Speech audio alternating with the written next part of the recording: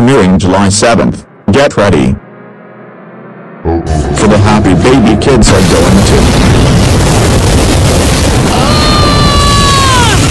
The May 2018 series, all new show, coming soon to Cartoon Network.